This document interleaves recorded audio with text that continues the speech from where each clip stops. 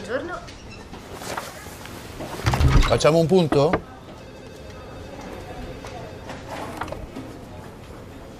Andiamo?